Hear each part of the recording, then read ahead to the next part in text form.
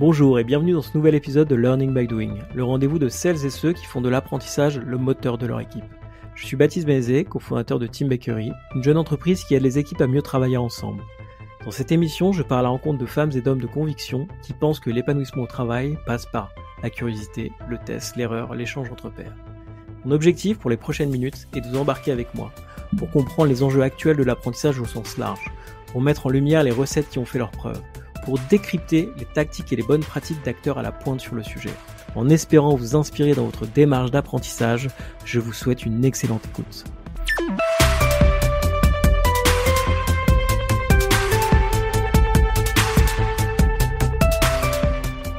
Bonjour Mathilde, je suis ravi de t'accueillir aujourd'hui dans cet épisode. Comment vas-tu?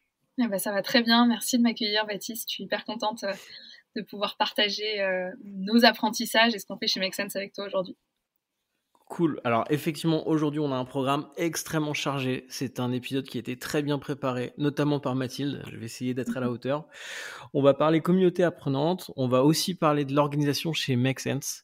Tu vas nous présenter tout ça et on va voir aussi comment euh, toi, tu mets en place euh, des stratégies un petit peu d'apprentissage en continu. Donc un programme très très riche et peut-être avant de se jeter à, corps perdu dans ces différents sujets, euh, je vais te demander de te représenter, Mathilde, euh, et de présenter Make Sense en, en même temps. Ouais, bien sûr, avec grand plaisir. Euh, et ben enchantée euh, à tous ceux qui nous écoutent. Moi, c'est Mathilde, je travaille chez euh, du coup depuis quasiment sept ans. Make c'est quoi? C'est une organisation internationale. Euh, on est présent dans plusieurs pays, sur plusieurs continents, à travers un réseau, une communauté de bénévoles et d'entrepreneurs sociaux, mais aussi avec des salariés qui développent, on va dire, deux grandes expertises que sont d'un côté la création et l'animation de communautés engagées sur des causes sociales ou environnementales, et de l'autre, l'accompagnement d'entrepreneurs sociaux, donc plutôt dans un modèle d'incubateur, accélérateur, euh, mais aussi depuis quelques années avec des fonds d'investissement. On investit du coup dans des entreprises euh, sociales. Euh, moi, mon métier à l'intérieur du coup de Make Sense, ça a toujours été l'accompagnement des entrepreneurs. Donc, mon métier, c'est vraiment coach d'entrepreneurs sociaux. je m'occupe aujourd'hui de tous les programmes d'accélération et je pilote en gros l'incubateur et le développement de, de tous nos programmes et ressources à destination des entrepreneurs. Ok, super clair. Alors effectivement, il euh, y, a, quand on a préparé l'épisode, il y a un sujet qui est, euh, qui est je pense, euh, central à la fois dans ton métier et à la fois dans, dans l'organisation, c'est le côté communautaire. tu l'as dit rapidement, on va peut-être rentrer directement dans le sujet, la, la, première partie qui était comment tu crées une communauté autour de certaines valeurs, autour d'un bah, d'un enjeu, et notamment l'entrepreneuriat à impact, qui est quand même un sujet, euh, je pense, euh, de société aujourd'hui. C'est quoi l'histoire derrière ça? Et, euh, et, en préparant, tu me disais, en fait, on est passé d'une d'un statut quasiment associatif ou bénévole à une organisation beaucoup plus structurée. comment ça s'est passé? Ouais, ouais c'est une, belle histoire qui, euh, qui marque euh, très clairement qui nous sommes aujourd'hui à notre ADN. Donc, euh, je, vais me permettre de refaire un petit peu l'histoire de Make Sense et de sa communauté, parce qu'effectivement, ça explique tout ce qu'on va pouvoir se raconter dans la suite du podcast. Alors Make Sense a commencé comme une communauté de bénévoles. Il y avait personne qui travaillait à plein temps. C'était vraiment euh, un peu une bande de jeunes qui, pendant leurs études, euh, se passionnaient euh, pour l'entrepreneuriat social, mais aussi le design thinking et un peu comment est-ce qu'on pouvait facilement mobiliser des citoyens pour venir en aide à des entrepreneurs sociaux ou pour s'engager sur des causes sociales et environnementales. Euh, ça, c'était déjà il y a 10-12 ans maintenant. Et donc, c'était à l'époque où euh, je pense on commençait à voir apparaître ces questions de quête de sens et de euh, comment est-ce que les nouvelles générations pouvaient s'impliquer dans les, combats sociaux ou environnementaux. Et en fait, ce qui a, au tout départ, vraiment la, base de cette communauté, ça a été de se dire, OK, euh, comment est-ce qu'on peut aider facilement un entrepreneur social qui est vraiment cet acteur, ce, ce, gars un peu fou qui a envie de changer la société euh, en créant euh, euh, des, une entreprise qui va être viable et qui va attaquer des problèmes sociaux et environnementaux. Et du coup, Make Sense a commencé à développer au début, donc je dis Make Sense, mais c'était vraiment quelques fous furieux qui se réunissaient le soir et qui voulaient du coup créer une petite méthodologie d'atelier créatif pour aider des entrepreneurs sociaux. Euh, ces ateliers, pendant longtemps, on les a appelés des hold-up parce qu'un jour, quelqu'un avait décrété qu'on euh, on braquait les idées des participants pour les remettre euh, à l'entrepreneur. Donc voilà, on était des gangsters et on participait à des hold-up. Le, le, naming, le wording derrière est important, je reviendrai dessus tout à l'heure. mais ce qui a été marrant, c'était que très vite, les, les, les, premiers gangsters de Make se sont dit, bah voilà, notre force, c'est pas tant d'avoir créer une petite méthodologie d'atelier en 2-3 heures pour euh, résoudre des défis. Euh, en réalité, on s'est inspiré de ce qui existait déjà dans le design thinking, c'est beaucoup, tu vois, du, brainstorming, etc., de la phase de divergence, convergence. Voilà, la méthodologie en soi n'était pas révolutionnaire, on avait pris ce qu'on aimait et on en avait fait un atelier un peu cool et fun euh, pour embarquer un max de personnes. mais la force, c'était vraiment d'être capable, dans n'importe quelle ville, pour n'importe quel entrepreneur, de réunir autour de nous une dizaine de participants qui se connaissaient pas un soir autour d'un apéro et de brainstormer sur les difficultés d'un entrepreneur pour trouver des solutions. Et du coup, une fois qu'on s'est dit ça, euh, c'était évident pour tout le monde de se dire, bah, en fait, la méthodologie, on va euh, très rapidement la formaliser et puis on va commencer à former tous ceux qui voudraient organiser des ateliers près de chez eux à le faire. Et on ne s'est pas forcément trop expliqué pourquoi à ce moment-là ça a pris mais euh, s'est développé à une vitesse phénoménale euh, à l'international. Les participants des ateliers étaient invités à se former à la fin de l'atelier.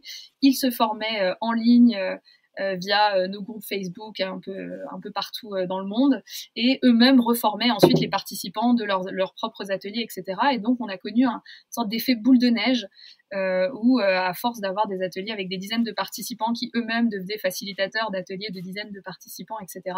et ben on s'est retrouvé au bout de à peine deux ans avec une communauté internationale présente dans plus de 100 villes dans le monde qui organisait euh, très régulièrement des ateliers pour euh, venir en aide à des entrepreneurs sociaux près de chez eux.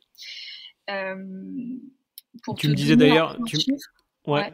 Voilà, c'est ce que j'allais dire. Il y, avait un, il y a un chiffre qui est quand même assez impressionnant là-dessus. Ouais, ouais. Bah, en fait, au début, on s'est lancé de manière complètement organique, donc on cherchait pas du tout à, à traquer la, la, data en, en, bonne startup. Euh, on n'a pas du tout fait ça. Euh, on s'attendait même pas d'ailleurs à ce que ça prenne autant d'ampleur. Mais du coup, quand on a commencé à essayer de faire notre propre mesure d'impact, vraiment 4-5 ans plus tard, euh, on s'est rendu compte qu'on avait en moyenne, et on sous-estime peut-être d'ailleurs ce chiffre parce qu'on n'a pas toutes les infos, on avait en moyenne deux événements organisés chaque jour par des bénévoles Make Sense quelque part dans le monde.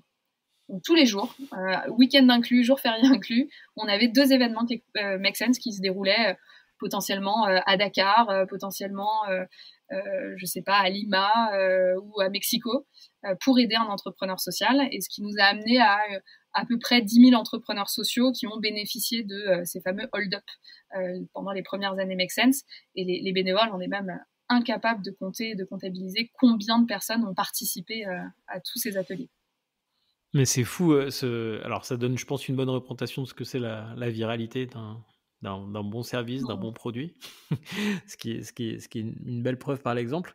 Euh, il y a un truc que je retiens, dans, après tu vas nous parler de comment vous êtes structuré, mais il y a quand même une bonne idée à, retenir ici du point de vue euh, peut-être learning, partage de connaissances, le fait que les participants soient formés à la fin de la session.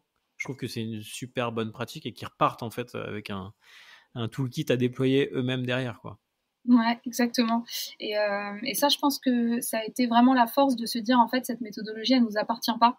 Et on, croyait et on croit toujours énormément dans les logiques open source, dans les logiques Creative Commons. Et, euh, et du coup, ce qui s'est passé, c'est que comme on était tous euh, bénévoles, on structurait, on formalisait un peu les ressources avec ce qui nous paraissait le plus intéressant. On formait de manière complètement gratuite et ouverte tous ceux qui souhaitaient l'être, et eux-mêmes s'emparaient de ces méthodologies et les faisait évoluer. Et on a vu passer, des fois complètement par hasard, euh, le kit de facilitation Make Sense, Made in euh, Cameroun, euh, on n'y avait évidemment, en tant que salarié, jamais touché. on voyait le kit qui avait été euh, remis à jour avec des exemples de c'est quoi l'entrepreneuriat social au Cameroun, etc. Donc assez incroyable de voir à quel point les, participants s'emparaient en fait de la connaissance. Et d'ailleurs, je précise un, point qui, euh, qui me tient à cœur, en tout cas chez Mexen, c'est de dire que la connaissance est quelque chose de vivant et de, sans cesse qui va sans cesse muer et évoluer et du coup c'est important pour nous de pas nous enfermer dans tu vois des, formation euh, hyper euh, descendante ou hyper cadrée, pour nous, euh, la formation ne va vraiment, l'information ne va vraiment se diffuser que si les participants peuvent s'en emparer, se l'approprier, la remalaxer et en faire quelque chose qui leur appartient. Donc on n'a jamais, euh, tu vois, certifié des coachs euh, de, facilitation Make Sense. C'était pas du tout l'objectif. Euh, on a appris d'ailleurs qu'il y en avait qui s'en étaient emparés pour faire des trucs perso, les, les, les, revendre en perso et tout, mais c'était vraiment à la marge. ce qui était pour nous hyper important, c'est qu'un maximum d'entrepreneurs sociaux puissent être aidés par des membres de la communauté Make Sense et à partir de là, bah, effet boule de neige. Ok, super clair. Et, du coup, d'après toi, euh, alors au-delà de cette, euh, on va dire quasiment ce rite initiatique, ce, premier workshop, qu'est-ce qui fait, euh, enfin, c'est quoi les leviers de votre communauté Et est-ce que d'ailleurs, est-ce que c'est des leviers qui peuvent être répliqués à d'autres communautés apprenantes? Ouais, carrément. C'est un bon point parce que du coup, au, bout de, au bout de quelques années, quand les bénévoles plusieurs bénévoles ont, cherché à passer à plein temps et donc on crée des structures, des bureaux Make Sense dans, plusieurs pays. Euh, on a cherché à formaliser, du coup, ça avait été quoi un peu cette recette magique euh, de, cette communauté euh, très vite internationale qui vit par elle-même, hyper hyper dynamique. Parce que du coup, ce que j'ai pas mentionné, c'est que au-delà de ces ateliers, en fait, très rapidement en local, les bénévoles Make Sense ont commencé à s'organiser pour aller plus loin et organiser des week-ends de découverte de, l'innovation sociale qui, invitait euh, des, des, passionnés de partout dans le monde, euh, à Lisbonne, à Berlin, au Mexique, etc. C'était assez fou. Ils ont créé des festivals. Enfin, vraiment, la, la communauté a, a, vécu et vit encore des, moments assez incroyables, portés avant tout par les bénévoles. Euh, et donc, on a tiré quand même des apprentissages de bah, comment se crée une communauté et comment elle s'anime euh, dans le temps. Et ça fait partie de nos expertises aujourd'hui. On accompagne des ONG, des associations, des entrepreneurs sociaux, parfois même des entreprises, à créer leur propre communauté toujours avec une vocation d'impact euh, et à l'animer dans le temps. Et donc on, tire un peu, on va dire, quatre grands piliers qui font qu'une communauté est une communauté et non pas euh, un réseau, par exemple, qui serait animé de manière un peu descendante. Euh, une communauté va avoir, euh, les membres vont avoir une identité commune euh, je parlais tout à l'heure euh, des gangsters et des hold-up. Et ben en fait finalement, c'est peut-être plus très moderne aujourd'hui, mais en tout cas à l'époque, on se reconnaissait comme gangster de la, communauté Make Sense et le nom avait une importance parce que du coup tu te sentais appartenir euh, à une sorte de famille et tu partageais une identité commune. Donc il y avait le nom, mais il y avait aussi les valeurs et les intentions. Euh, moi je me souviens quand je suis rentrée dans la communauté au début, ce qui m'a vraiment ébahi, c'était de retrouver des gens qui n'avaient pas forcément du tout le même parcours que moi, mais on partageait des valeurs hyper fortes euh, sur euh, le changement social, le changement euh, écologique, etc. Et, et, en fait, en se retrouvant derrière ces valeurs-là, de partage, d'ouverture, etc., j'avais l'impression de faire partie d'une famille qui avait un peu la même identité que moi. Donc ça, c'est le premier pilier, l'identité. Euh, le deuxième pilier va être autour de d'offrir des espaces d'échange et des activités communes euh, aux participants. Donc l'idée, c'est qu'il ne faut pas être dépendant de euh, bénévole ou d'un salarié qui anime cette communauté, mais permettre aux bénévoles de se rencontrer ensemble, en local, se voir le plus possible et, et de créer ensemble le festival, le hold-up ou autre. Un troisième point qui est souvent sous-estimé, c'est la valorisation des membres. Euh, on oublie souvent que bah voilà les premiers membres qui ont rejoint une communauté, c'est un peu ces fous furieux, surexcités, euh, qui ont envie de tout donner, qui ont envie de tout développer parce qu'ils croient à fond euh, dans, dans, dans l'avenir de cette communauté. Et ces membres-là, faut vraiment les chouchouter parce que ça va être ça va être le, nerf de la guerre quoi pour le, développement de la communauté. Et, euh, et parfois la valorisation, c'est vraiment quelque chose de tout bête. Moi, je crois que je me souviens encore du jour où je suis rentrée dans la communauté Make Sense. à l'époque, on était on n'était pas forcément hyper nombreux à Paris. En gros, ma système de valorisation, on va dire, euh, ça a été tout simplement sur Facebook. Euh, on m'a demandé de me présenter, euh, de me dire, de dire, je crois à l'époque, elle était un peu mon, super pouvoir et, de, faire parler un peu de moi dans le groupe Facebook et déluge de bienvenue Mathilde, on est trop content de se rencontrer, quand est-ce qu'on se prend un café, c'est trop bien que tu fasses ça et puis tu vas partir faire un petit tour du monde à l'époque, il faut absolument que tu fasses des hold-up partout où tu as, où tu vas, etc. Et juste le fait de valoriser euh, l'engagement de la personne et euh, son arrivée dans la communauté a été pour moi le sentiment aussi de rejoindre un peu euh, cet, esprit de famille dont je parlais tout à l'heure. et ça, c'est quelque chose qui, très fort encore chez Make Sense, de comment est-ce qu'on valorise les membres, comment est-ce qu'on les met en avant quand ils commencent à, à, donner un peu à la communauté. Et enfin, le quatrième pilier, qui est celui qui nous intéresse le plus aujourd'hui, c'est la question de la connaissance. une communauté va vivre euh, aussi longtemps qu'on continue à la nourrir euh, en connaissances, en informations, euh, en montée en compétences, etc. Et donc là, il y a vraiment un truc qui se joue qui est hyper important, c'est comment est-ce que tu apportes de la matière pour nourrir les membres de cette communauté qui, s'ils se rassemblent pour faire des choses ensemble, sont aussi là pour apprendre en permanence. Et donc il y a vraiment une notion d'apprentissage en continu euh, dans la notion de communauté qui est hyper importante. Tu, ne peux pas t'attendre à dire à des membres engagez-vous sans rien donner en échange. Il faut qu'il y ait un peu mm. cette, cette, logique de se nourrir euh, en permanence. Et donc là, je reviendrai un peu sur aussi l'idée de euh, il faut que tous les membres puissent s'emparer des méthodologies, puissent se les réapproprier, puissent organiser des événements euh, eux-mêmes sur les, thèmes qui leur tiennent à cœur, etc. Euh, pour te donner euh, un exemple un peu plus récent du coup de ce qui se passe dans la communauté Make Sense, par exemple pendant le, confinement, notre communauté, qui était vraiment une communauté basée sur des liens physiques et des rencontres dans la vraie vie, bah, au début, on s'est un peu dit, mon, Dieu, on va perdre tout le monde, euh, on va perdre tous nos membres. Euh, et, sur demande de certains bénévoles, en fait, on a lancé euh, au début des petites séries de, webinaires en ligne pour continuer à apprendre sur les questions de réchauffement climatique ou même de, santé mentale pendant le confinement, etc. et très rapidement, ampleur de malade. Euh, la télé Make Sense est sortie pendant le confinement et euh, les bénévoles se sont mis à proposer énormément de contenu de diffusion. Alors on avait des philosophes, des chercheurs, on avait euh, des chefs d'entreprise qui venaient parler de leur expérience, etc. Et, au pic du confinement, je pense qu'on était à facilement 7-10 programmes par jour qui étaient proposés sur la, la télé Make Sense, absolument pas par les salariés, qui avaient juste mis l'outil à disposition et tous les bénévoles pourraient euh, faire des propositions sur un petit typeform de moi je voudrais faire un webinaire sur tel et tel sujet. Et ils se sont emparés de l'outil. Et du coup, euh, vague de connaissances aussi sur plein de sujets euh, hyper différents tous les jours. Et ça a hyper bien marché. C'est super, impressionnant, ce que tu nous racontes. D'ailleurs, ça, me fait une super transition aussi sur le, un point que je voulais voir avec toi. Donc là, tu nous as parlé un petit peu du, démarrage et de la. Comment dire les différents piliers qui soutiennent la communauté. Il y a le moment où tu passes, où tu te structures.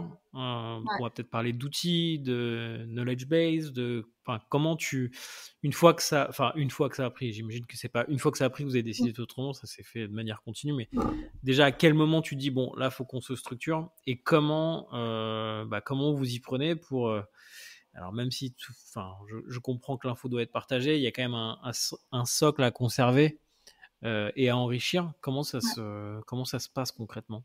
Ouais, carrément. Alors euh, ça, c'est un sujet qui est euh, assez, assez touchy en réalité. J'en parlais avec mes collègues en, en, préparation du podcast en disant, mais oui, effectivement, il y a quand même des choses qu'on a structurées dans nos manières de faire, etc. Et, et à côté de ça, euh, je te donne un autre exemple. Pendant le, confinement, on a développé, euh, pareil, à, la demande de nos bénévoles, un programme qui s'appelle Réaction, qui était un programme pour venir en aide aux associations de notre réseau qui se trouvaient complètement coupées de leurs bénévoles euh, parce que bah, plus personne n'avait le droit de se déplacer, d'aller faire des maraudes ou des choses comme ça.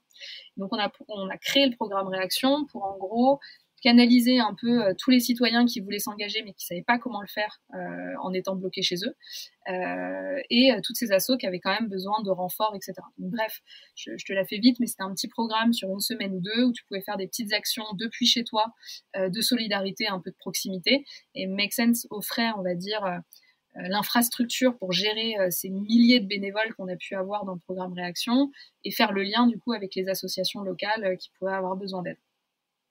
Et en gros, euh, ce programme étant très très vite passé à l'échelle, on a eu besoin de structurer euh, nos process, euh, le monitoring de la data, savoir qui on accompagnait, faire des mesures d'impact, est-ce que les gens du coup c'était, avaient continué à s'engager après le confinement, etc.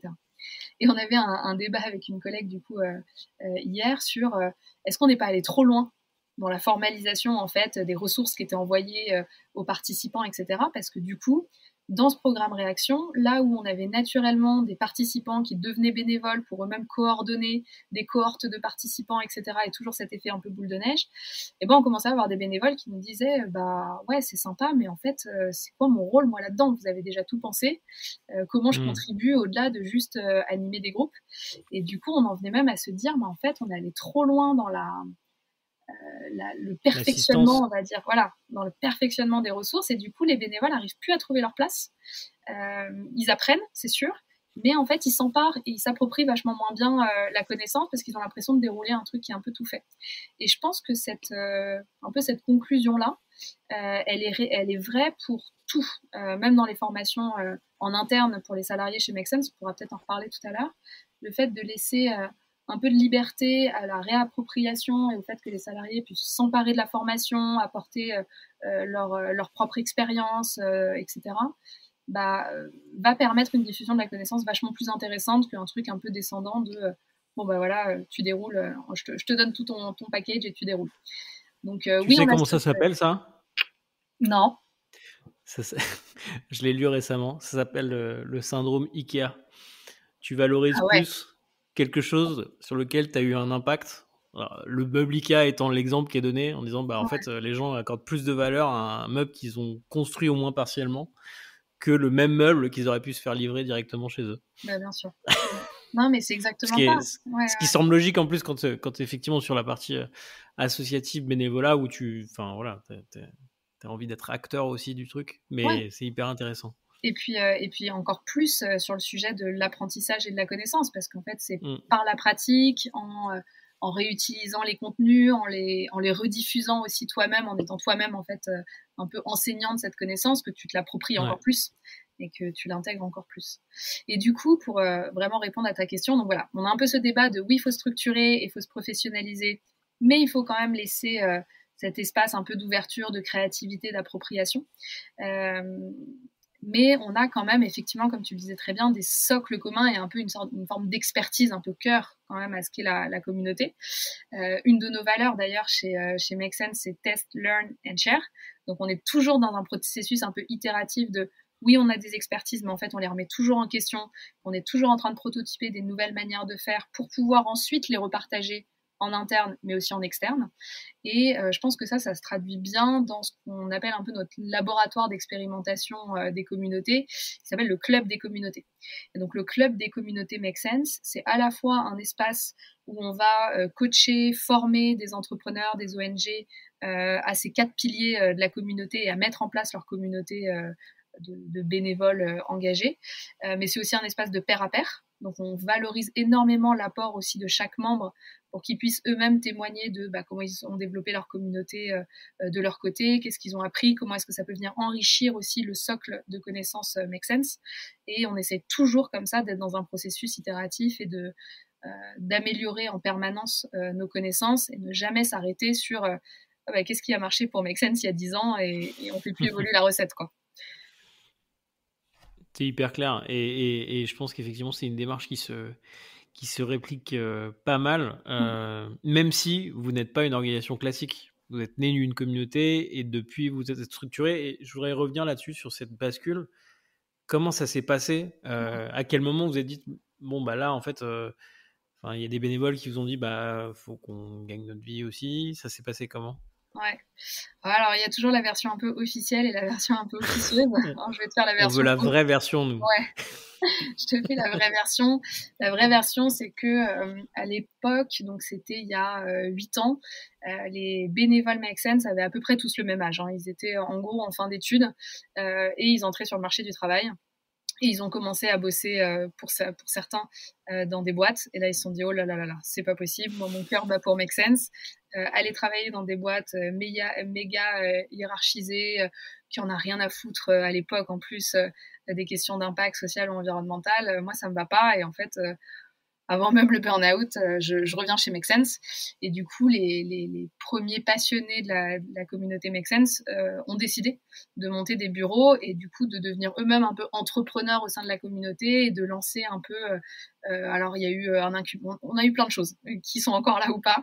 On a, donc on a toujours un incubateur, on a eu un moment un média qui a un peu évolué, on a eu un moment une école, on a eu un peu une sorte de petit cabinet de conseil pour accompagner sur les communautés qui a évolué vers le club des communautés, etc. Donc on a eu plein de choses.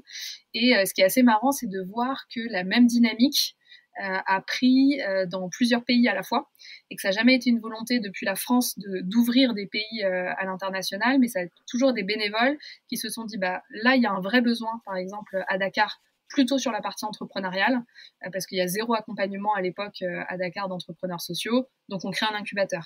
Là où au Mexique, par exemple, très vite, il y avait des enjeux autour euh, de l'engagement citoyen. Et donc, ils ont plutôt développé la partie communauté engagement citoyen au Mexique. Ça a été pareil au Liban, d'ailleurs. Et puis, aux Philippines, c'était un peu un, mix des deux. Et donc, c'est, euh, en gros, ça a été vraiment encore une fois, à l'initiative des bénévoles, de passer à plein temps et de développer des modèles économiques qui leur permettraient de continuer à faire vivre Make Sense et à eux-mêmes euh, d'en vivre. Et donc c'est comme ça en réalité, donc ça c'est la version pas officielle, mais la réalité c'est que c'était euh, motivé par euh, l'envie des, bénévoles de passer à plein temps et du coup on, considère d'ailleurs dans les cofondateurs Make Sense des dizaines de personnes qui sont un peu autour de l'apéro qui se sont dit allez on se lance, c'est vraiment ça qui nous fait qui nous fait frémir de passion et on se lance là-dedans. Euh, ça, ça a été au tout début, c'était à peu près il y a 8 ans que ça a commencé à, bien se structurer, notamment la naissance de l'incubateur. D'accord. Et, du coup, en... parce qu'il y a la volonté de, du coup, de se salarier, des choses comme ça, en termes de modèle de revenus, c'est les gens que vous incubez vous payent, c'est les entreprises qui sont partenaires, c'est comment ça, ça se met en place? On a, euh, on a un, modèle économique assez hybride. Euh, donc, on a des sponsorings euh, pour faire tourner des programmes pour pouvoir accompagner gratuitement des entrepreneurs sociaux. à un peu toutes les phases de maturité. On accompagne des entrepreneurs qui sont juste au stade d'idée, parfois qui sont plus en phase de déploiement national, etc. et on a aussi pas mal de prestations de services. Je dirais que les sponsorings représentent en fonction des années entre 20 et 30% de notre budget. Et sinon, c'est plutôt de la prestation de services typiquement le club des communautés où on est vraiment payé pour former euh, des entrepreneurs, les coacher, les accompagner, euh, euh, ou, parfois même des grandes entreprises hein, qui ont des vocations à créer des, mmh. communautés de salariés engagés sur des causes bien précises. et puis voilà, je dirais c'est ça, 20-30% de sponsoring et jusqu'à 70% de, prestations clientes. le modèle évolue vraiment au fil des années, mais, mais en gros la répartition est toujours un peu celle-ci. Euh, et, quelle que soit l'évolution d'ailleurs de nos métiers, qui en fait derrière ce que je vous ai décrit tout à l'heure, qui était euh, vraiment l'accompagnement des communautés et l'accompagnement des entrepreneurs sociaux, en fait il y a plein de sous-métiers qui, euh, qui évoluent au fil des années et beaucoup au fil des envies des salariés et de ce qu'ils identifient sur le terrain. Ok, très clair. Je propose qu'on revienne sur le sujet entreprise ou organisation apprenante, mmh. parce que c'est un des thèmes euh, qu'on avait prévu d'aborder. Il y, a un sujet qui est hyper intéressant, je pense, dans les, dans les enfin, sur les, comment dire, les, fiches de poste, en tout cas les rôles de chacun. Euh, je veux bien qu'on revienne ensemble là-dessus, parce qu'il y, a une logique qui est chacun est expert, mais chacun prend aussi des sujets transverses pour les faire avancer. Et je trouve ça super intéressant en termes de. on parle d'ownership en utilisant ce mauvais anglicisme, mais de responsabilisation des, des, des personnes dans leur, euh, bah, dans leur job du quotidien. Quoi. Absolument. Et du coup, effectivement, je vais revenir un petit peu sur euh, bah, ce, leg d'avoir été une communauté euh, pendant plusieurs années, a effectivement un impact sur la, gouvernance de l'entreprise Make Sense euh, aujourd'hui. donc, je le rappelle, hein, au départ, on était uniquement des bénévoles, ça a duré pendant 3-4 ans. ou même être bénévole chez Make Sense, ça, ça, pouvait prendre des formes hyper différentes. Par contre, ce qui était un peu central, c'est que euh, il n'y avait pas de hiérarchie dans les décisions qui étaient prises pour le développement de la communauté. En fait, c'était quelque chose qui était très organique. Quand des groupes de bénévoles avaient envie de lancer des nouvelles initiatives, bah, ils avaient juste à se réunir et euh, lancer des initiatives en utilisant la marque Make Sense. Mais personne ne venait euh, contrecarrer leur plan ou décider si c'était la bonne stratégie, le bon plan d'action, etc. Et je pense que quand euh, certains bénévoles ont décidé, euh, à peu près au même moment d'ailleurs, euh, à Dakar, à Paris, à Mexico, de passer à plein temps et de devenir du coup des salariés Make Sense en créant des entités qui auraient des, des, revenus à part entière. Donc, pour vous donner juste un exemple, la création de l'incubateur a été une des premières entités qui a commencé à salarier du coup des bénévoles qui sont passés à plein temps. bah, à ce moment-là, c'est tout de suite poser la question de ah mais attention, euh, si on crée une entreprise, ça veut dire qu'on va avoir des chefs et que certains vont avoir le droit de décider plus que d'autres. Ce qui a euh, immédiatement posé problème. Non pas qu'il y ait euh, un, problème fondamental avec la notion de, chef. le problème, c'était plutôt que dans cette communauté, on partageait tous un peu une envie de faire société différemment. Euh, et que du coup on ne voulait pas recréer les biais qu'on pensait voir en tout cas dans les, dans les grandes entreprises ou dans les entreprises plus classiques, euh, des biais euh, liés à la, hiérarchie, au fait que du coup certains salariés se voient un peu dépossédés de leur pouvoir d'action, de leur pouvoir de décision parce que les mille feuilles hiérarchiques font que c'est jamais complètement toi qui prends la décision en fait au final. Et cette idée derrière laquelle, euh, et qui est très fortement portée par tous les bénévoles Make Sense, de dire chaque citoyen a son rôle à jouer euh, dans la transition euh, écologique, chacun doit être acteur du changement autour de soi, etc. C'était tellement dans l'ADN de cette communauté qui avait du coup les pleins pouvoirs pour agir, etc., qu'on voulait absolument rebasculer ça dans la manière dont on a développé notre entreprise. Et du coup, à partir de là, bah, on a commencé à s'intéresser pas mal à tout ce qui était euh, entreprise libérée, euh, gouvernance euh, décentralisée, etc. Et on s'est très très vite posé la question de comment, même en créant une entreprise, on arrive à ne pas recréer les biais qui nous nous dérangent dans les schémas d'entreprise classiques, mais qu'au contraire, on va créer un make sense à l'image de nos valeurs et de ce qu'est la communauté depuis 3 à 4 ans. Donc, si tu veux, le point d'orgue derrière ça, c'est de dire on croit dans la responsabilisation euh, de chaque individu et dans son pouvoir d'action. Et ça se traduit comment dans la gouvernance? Ça se traduit par qui prend des décisions, comment sont prises les décisions, euh, euh, et, derrière ça, toute une culture apprenante dans l'entreprise. Je m'explique. créer une entreprise dans laquelle vous allez dire que n'importe qui qui débarque, on va dire, au bout de quelques mois, est capable de prendre des décisions aussi importantes que celui qui est là depuis six ans, parce qu'en fait, il n'y a pas de chef et qu'il n'y a personne qui va réguler, on va dire, toutes ces décisions.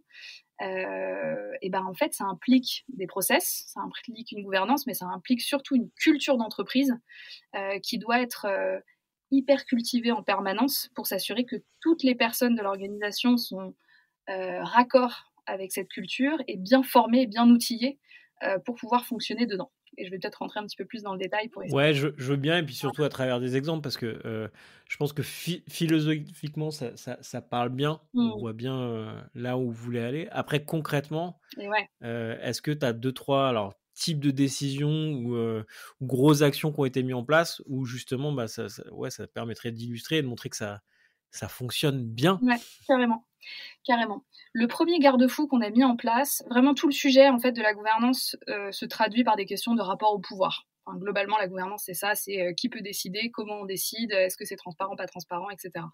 Euh, quels sont les critères pour prendre des décisions Et eh ben nous, c'est simple. le principe fondamental chez Make Sense, c'est ce qu'on appelle la sollicitation d'avis.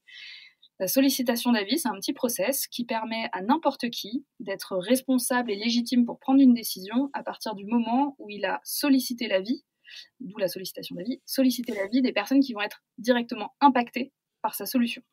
Exemple, euh, je décide de lancer, euh, d'ouvrir un, poste et de recruter un nouveau profil dans l'équipe.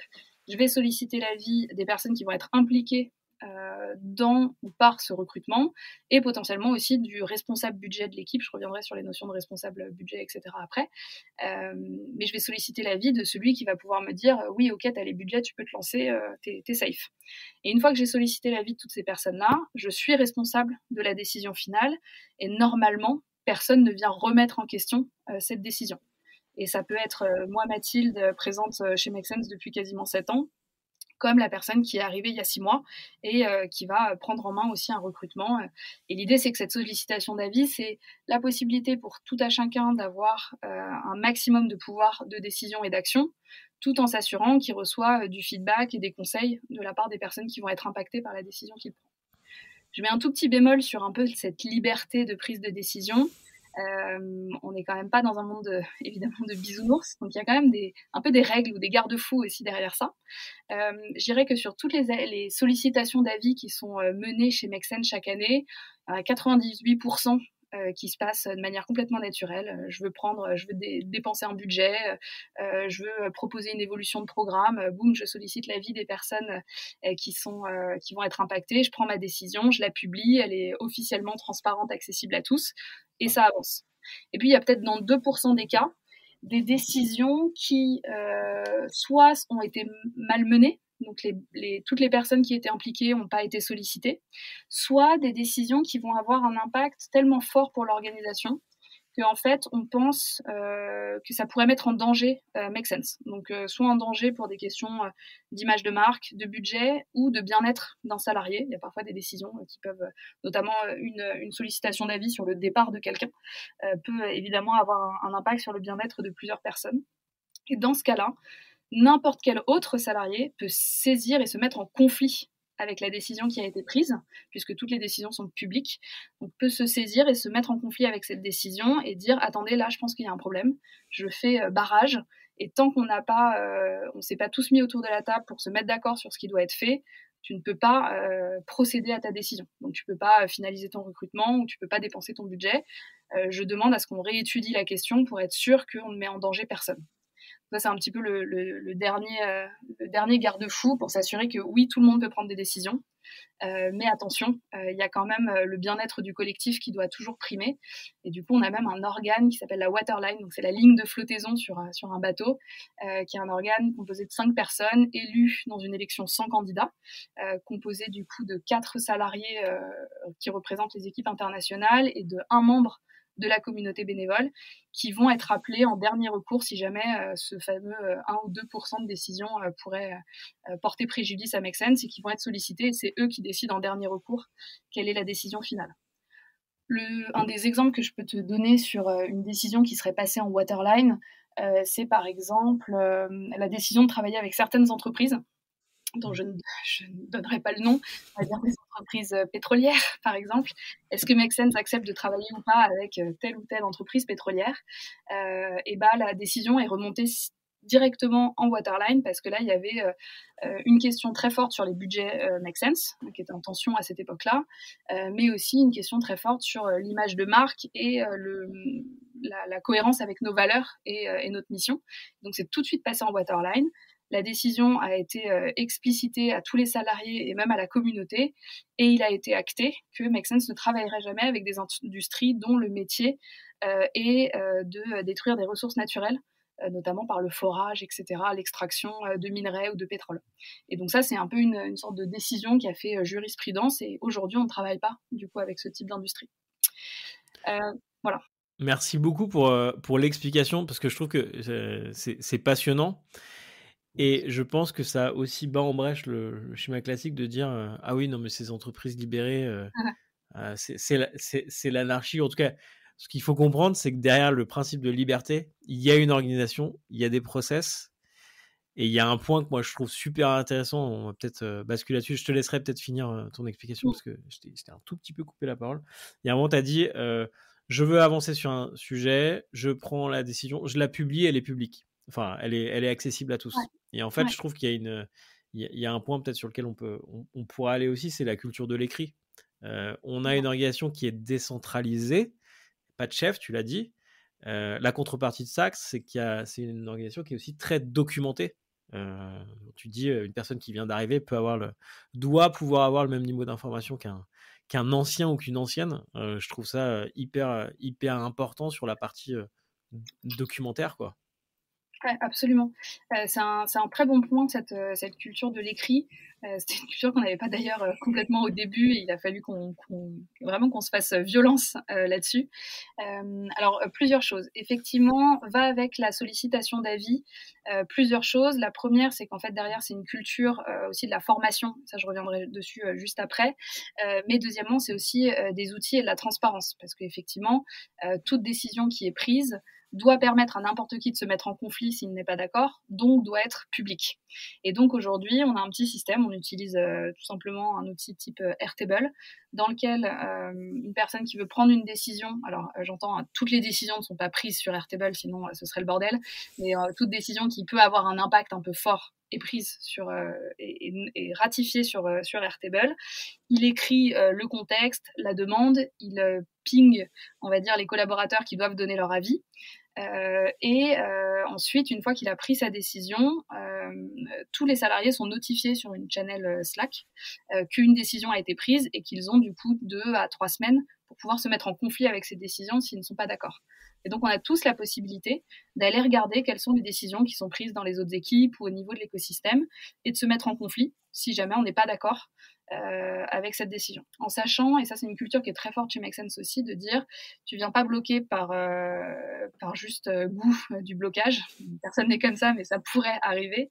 si tu viens bloquer, tu dois t'engager à à formuler une proposition qui sera bonifiée par rapport à, l'existant. Donc il y a vraiment un engagement de si tu viens bloquer, tu es toujours dans une posture constructive de trouver une solution alternative. Ce qui permet d'être en fait beaucoup plus fluide. et pourquoi aussi je reviens sur la sollicitation d'avis et pas euh, du consensus ou des choses comme ça qu'on peut voir plutôt dans des associations ou des scopes, euh, tout simplement parce qu'on trouvait que parfois le consensus, ça amenait à des prises de décision un peu molles euh, et en fait pas très tranchées. Et l'idée, c'est pas de dire tout le monde doit toujours être d'accord sur tout, mais plutôt on doit être capable de laisser à chacun le pouvoir de prendre des décisions tranchées parfois et qui vont pas faire plaisir à tout le monde. Mais à partir du moment où tu peux vivre avec la décision qui a été prise, tu, dois la laisser, tu dois la laisser aller euh, et, ça permet à l'organisation d'aller très vite.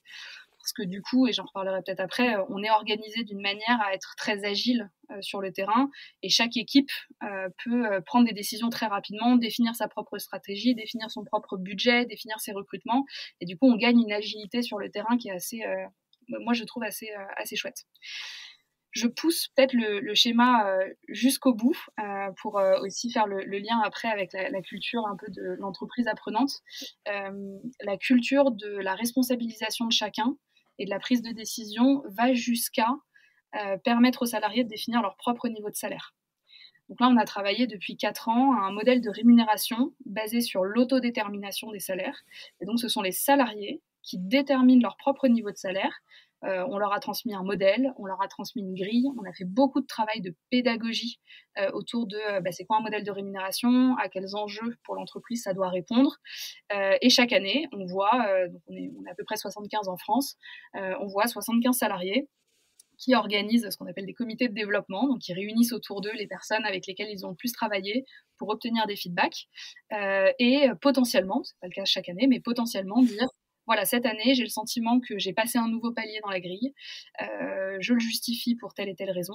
Et je vous demande un feedback pour savoir si euh, je vous sollicite, et je sollicite votre avis pour savoir si euh, c'est OK, selon vous, que j'évolue sur le palier suivant et donc que j'augmente mon salaire. Il reçoit du coup l'avis des 5-6 euh, personnes avec lesquelles il travaille le plus. Cet avis est consigné effectivement à l'écrit dans une fiche de suivi du coup du full-timer, si vous vous rappelez du coup c'est le nom de nos salariés. Euh, et, à, partir de là, le salarié du coup va exprimer publiquement sa demande euh, d'évolution d'un nouveau palier et donc sa demande de rémunération, d'augmentation de rémunération. Tout ça est public, tout le monde connaît le salaire de tout le monde, tout le monde sait quelles ont été euh, potentiellement les justifications pour passer à un palier suivant. Et du coup, ce modèle euh, prône à fond euh, l'autodétermination, la transparence, et puis plein d'autres chouettes valeurs sur lesquelles je ne reviendrai pas. Mais voilà, il y, y, a un sujet de dire, en fait, quand on parle de sollicitation d'avis, c'est pas juste pour faire joli, on est capable de le pousser et de le traduire dans des exemples aussi concrets et aussi touchy que la rémunération. Et d'ailleurs, un truc dont on est très fier aujourd'hui, c'est que euh, quatre ans plus tard, après la mise en place de ce, modèle, euh, on a fait une petite étude auprès des salariés pour savoir ce qu'ils pensaient du modèle de rémunération et, plus globalement de la question du salaire. Et on sait aujourd'hui que euh, la question de la rémunération est, un, une des plus grandes fiertés des salariés Make Sense. C'est une des premières choses dont ils parlent autour, autour d'eux, à leurs proches, etc., quand ils parlent de, de Make Sense. Et deux, la rémunération est plus du tout un sujet sensible. Euh, t'entendras souvent à la machine à café chez Make Sense des gens dire ah ouais, toi, t'es sur le palier machin, et ben moi, je suis passé niveau 3, machin et tout. Et en fait, les gens parlent plus de salaire, ils parlent de palier et de euh, comment ils se sont auto-évalués dans la grille, etc. Euh, donc assez chouette de voir que, à quel point ça permet en fait de, casser des, tensions ou des, non-dits sur des sujets qui relèvent vraiment juste en fait du pouvoir de décision de chacun. Bah, c'est déjà hyper innovant, et, alors j'aime pas du tout ce terme, mais disruptif. Je pense qu'effectivement, il y a encore peu d'organisations il y a une transparence aussi totale sur, euh, sur les salaires. Donc bravo pour ça, parce que je pense que c'est un, vrai pas en avant et que ça évite euh, beaucoup de choses. Moi, j'ai une remarque qui me vient quand tu me présentes l'organisation telle qu'elle est là, vos règles de gouvernance, la façon dont vous êtes organisé. j'ai l'impression, alors, pour naviguer, enfin, pour être à l'aise, naviguer dans, une, dans, l'organisation qui est, qui est Make Sense, faut quand même avoir un bagage en termes de je sais pas, de soft skills, de qualité d'expression, qualité de feedback. Enfin, j'imagine quelqu'un qui est pas du tout habitué. Enfin, on prend quelqu'un qui a travaillé toute sa vie dans une organisation dite classique, qui arrive chez vous. Euh, alors même si c'est un bon communicant, il, il, il, va sûrement pas péter un câble, mais halluciner ou se dire comment, comment vous. Alors, je sais pas si c'est de l'onboarding, les gens qui vous rejoignent, est-ce qu'il y a une espèce de sas pour. Un, leur apprendre comment vous fonctionnez et peut-être deux, les, les, les former sur bah, ces méthodes de prise de décision, la culture du feedback, la façon de dire les choses aussi, quoi? Ouais, tu mets, tu mets le doigt sur vraiment un sujet qui est hyper clé pour la réussite d'un modèle comme le nôtre. effectivement, et c'est pour ça que je parlais de, un peu de culture apprenante tout à l'heure, et on est un peu une culture apprenante by design. Le design de notre gouvernance fait que euh, on est obligé de travailler en continu sur la culture, la montée en compétences et l'apprentissage euh, des, full-timers, donc des salariés make sense. Euh, parce que si chaque salarié n'incarne pas la gouvernance et n'est pas outillé pour pouvoir réagir euh, soit porter une sollicitation d'avis, mettre en conflit, etc., euh, effectivement, ça ne fonctionne pas. Euh, pareil dans le modèle de rémunération, si je prends l'exemple un peu extrême, décider de sa propre rémunération, ça nécessite bah, de savoir un petit peu négocier, ça nécessite de comprendre ce que c'est qu'un modèle de REM, ça nécessite de savoir comment est composé un salaire, etc. Donc ça nécessite quand même pas mal de, pas mal de critères. oui, on forme en permanence. Alors, première chose, quand un salarié arrive, qu'il soit junior euh, euh, ou, senior, euh, il va passer deux jours entiers en onboarding. Et pendant cet onboarding, il va découvrir la culture, donc un peu l'histoire de Make Sense, les valeurs. il va rencontrer des membres de la communauté. Il va rencontrer un maximum de, de personnes des différentes équipes pour comprendre un peu comment fonctionne l'univers Make Sense. Et puis, il va participer à des formations et les formations qui sont clés au départ, c'est une formation sur la gouvernance et la sollicitation d'avis, pour qu'il ait tout de suite les clés pour pouvoir prendre des décisions dans son équipe. Et va avec la sollicitation d'avis forcément une formation sur le feedback, pour pouvoir exprimer de manière euh, claire et intelligible un feedback à n'importe qui dans l'organisation, et une formation sur la communication non violente, qui permet, qui va main dans la main avec la, formation sur le feedback, qui permet aussi d'avoir un mode de communication qui met l'ego complètement de côté euh, et du coup de pouvoir aller, euh, à mon sens, beaucoup plus vite dans la, prise de décision et de manière beaucoup plus saine. Donc voilà, ces trois formations sont un peu les formations euh, clés euh, chez Make Sense pour pouvoir démarrer avec le bon bagage euh, dans l'organisation. Et d'ailleurs, tout au long de ton expérience de full-timer, tu vas bénéficier d'autres formations et tu vas remettre à jour aussi tes connaissances en feedback, en CNV, sont un peu les éléments intangibles et obligatoires. Et on a formalisé tout ça dans ce qu'on appelle l'académie de Make Sense. Et cette petite académie, en gros, chaque euh, salarié, euh, un peu comme s'il retournait sur les bancs de l'école, il va avoir euh, une majeure. cette majeure, c'est tout simplement les, toutes les formations qui ont, qui ont trait au métier pour lequel il arrive dans Make Sense. Donc, par exemple, moi, dans mon équipe, c'est majoritairement des personnes qui viennent en tant que coach entrepreneur pour accompagner les, les entrepreneurs dans l'incubateur, dans le fonds d'investissement, etc. Et donc, ils vont avoir une série de formations autour euh, bah, c'est quoi un entrepreneur, c'est quoi un modèle économique, euh, comment tu passes un diagnostic, euh, comment tu gères un coaching, etc. Donc ça, c'est un peu les, majeurs, c'est tout ce qui est lié à ton métier. tu vas avoir les mineurs qui sont liés aux différents rôles et casquettes que tu peux prendre en plus de ton métier chez Make Sense.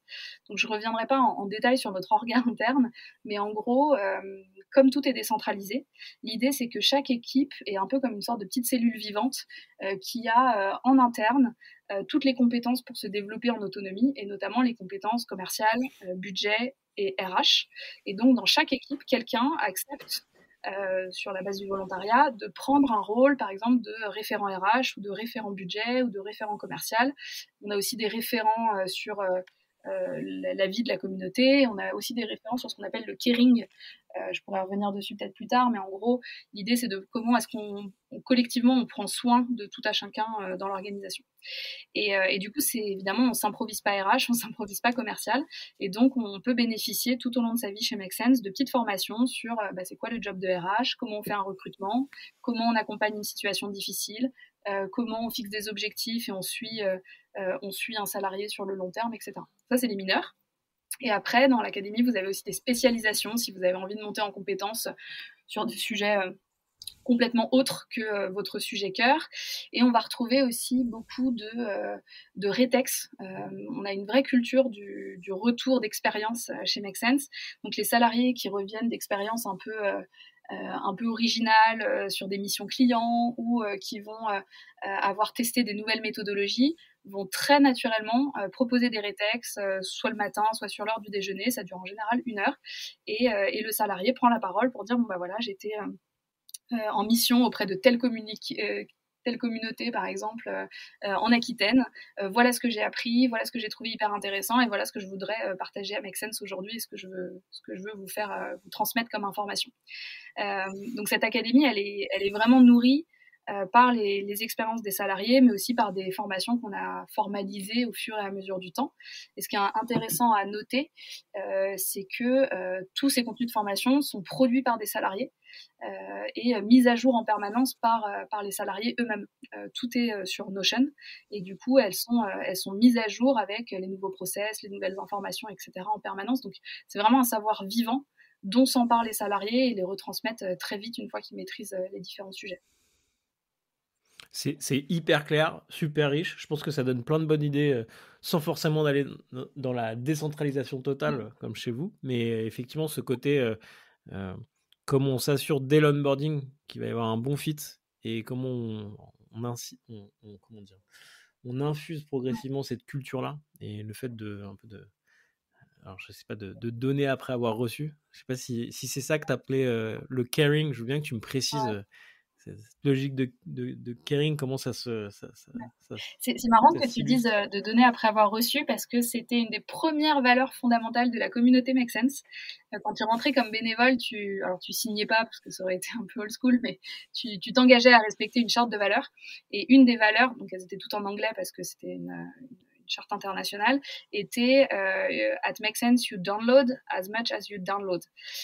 donc tu donnes autant que tu reçois. Et donc, si effectivement euh, on passe, euh, tu bénéficies d'une formation euh, pendant plusieurs heures pour être formé au, métier de facilitateur d'atelier, et ben en fait, tu vas t'engager derrière à toi-même organiser des ateliers au service d'entrepreneurs sociaux. Et ce truc est resté vraiment très ancré dans notre, effectivement, dans notre culture.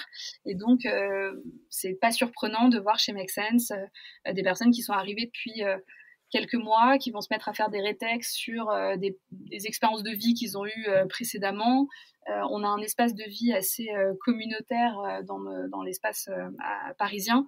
Et donc, quasiment tous les soirs, vous allez avoir des, ateliers sur le do-it-yourself, sur le zéro déchet, ou quelqu'un qui organise une conférence sur l'écoféminisme.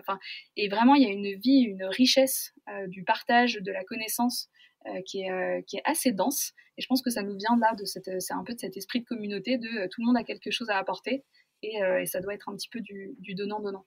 Euh, et, l'académie, du coup, fonctionne, euh, fonctionne pas mal là-dessus. Merci beaucoup pour ce partage, parce que là, on a vraiment mis le, le nez sous le capot, j'ai envie de dire.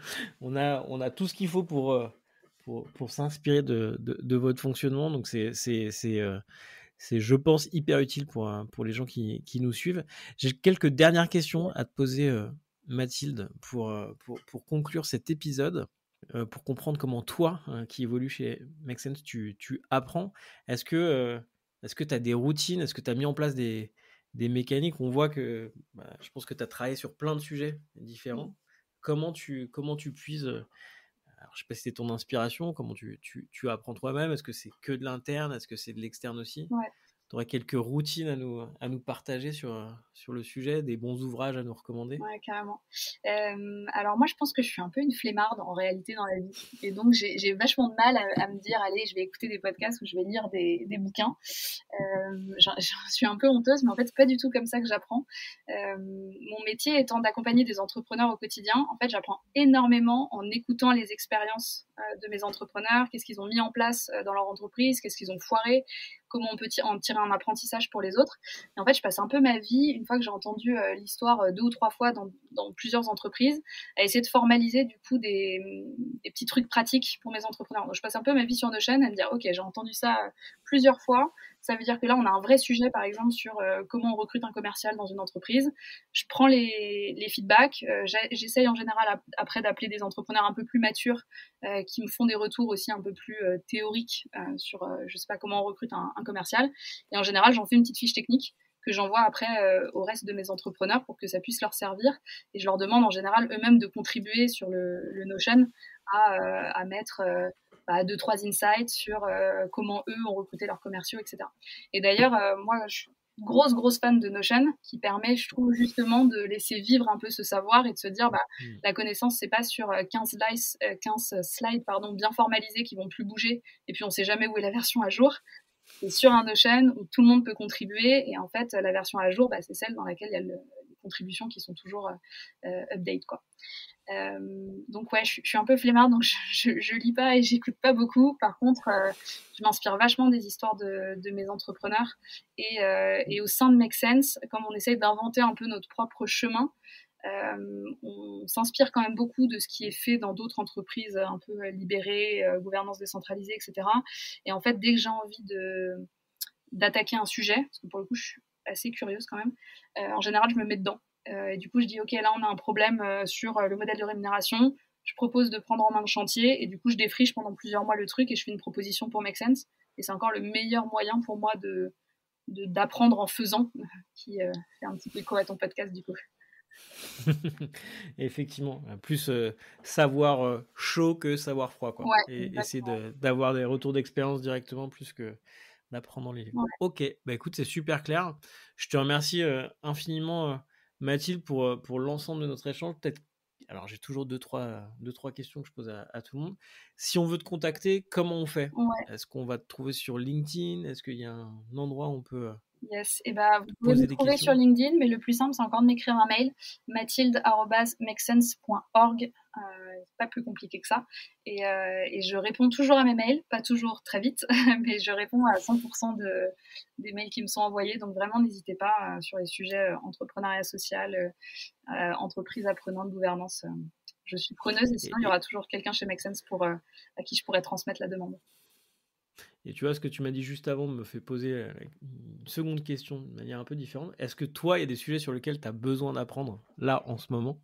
Sachant que le podcast va être publié dans pas très longtemps. Est-ce qu'il y a un sujet que tu aimerais craquer sur lequel ah ouais on fait un appel à témoignage, ah à expérience. Carrément. Bon, il y en a plein, évidemment. Euh, là, je pense que le gros sujet pour Make Sense sur lequel j'adorerais me mettre, euh, c'est la question euh, du travail à distance et de comment est-ce qu'on permet à nos salariés de quitter Paris sans quitter Make Sense. De renouer aussi avec notre culture un peu même communautaire de base. On était tous un peu éclatés partout, partout en France, partout dans le monde. Et en gros, comment est-ce qu'on permet à nos salariés d'aller découvrir des modes de vie beaucoup plus sain, euh, décarboné, etc., euh, sans perdre l'énergie et la, la, la, foi et le côté un peu foisonnant de la vie make sense qui en fait se traduit quand même beaucoup à Paris. ça, c'est mon gros sujet. Je ne parle pas juste de télétravail, je parle pas juste de, de, de, pure remote, mais vraiment comment est-ce que euh, on arrive à créer des entreprises qui, qui, gardent une émulation et une vie hyper dense euh, quand euh, tout le monde travaille un petit peu partout, euh, partout dans le pays, voire à l'international. Effectivement, c'est un, un, gros sujet que nous touche mm. alors plutôt avec des, entreprises traditionnelles, mais c'est vrai que la distance resilote les organisations et ça c'est embêtant. On va, trouver, on va trouver, on va trouver des gens qui vont nous aider là-dessus, puis on va avoir des, des tests, des expérimentations. Dernière question que je pose à tout le monde est-ce qu'il y a un invité, enfin une personne qu'il faut absolument que je reçoive sur ce, sur ce format et sur quel sujet il faut que j'interroge Ouais. Euh, alors moi j'aurais envie de t'envoyer tous mes entrepreneurs parce qu'ils sont absolument euh, tous exceptionnels. Euh, mais là je pense à, quelqu'un qui je trouve fait preuve d'une grande sagesse et qui nous a beaucoup accompagnés chez Make Sense à structurer notre, notre philosophie, à structurer notre gouvernance. C'est Cédric Mao, le fondateur de Fly the Nest. Euh, qui accompagne euh, déjà beaucoup de startups dans leur croissance, mais aussi des entreprises qui se posent des questions sur la décentralisation, etc. Euh, c'est un puits de connaissances, il est passionnant à écouter. donc, je, moi, je réécouterai un podcast en boucle de Cédric. bah écoute, on va lui envoyer une invitation. on espère la voir bientôt sur le format. Je te remercie encore une fois, Mathilde. C'était super riche, passionnant. J'espère que les gens qui nous ont écoutés jusque-là n'ont pas noté. Il y a eu quelques petits problèmes techniques euh, mais on a enfin réussi à enregistrer cet épisode en entier. Je pense qu'on peut se féliciter tous les deux parce que c'était compliqué. euh, merci encore une fois. Je te, je te, je te dis à bientôt et puis. Euh, et puis, et puis, on va aussi saluer les personnes qui ont le courage de nous écouter jusque-là. Merci à vous et je vous donne rendez-vous pour un prochain épisode. À bientôt, Mathilde. Merci, Baptiste. À bientôt. Merci beaucoup de nous avoir écoutés jusqu'ici. Si vous souhaitez aller plus loin et commencer à développer une culture de l'apprentissage autour de vous, pensez à vous abonner gratuitement à notre sélection hebdomadaire d'outils pratiques pour animer votre équipe. C'est disponible via le lien qui est en description de l'épisode. Si cet épisode vous a plu, parlez-en autour de vous. C'est la meilleure façon de le faire connaître. Vous pouvez aussi nous laisser un petit mot en commentaire. On lit tout et ça nous aide beaucoup à nous améliorer au fil des épisodes. Merci encore de votre soutien et je vous dis à très vite pour un prochain épisode.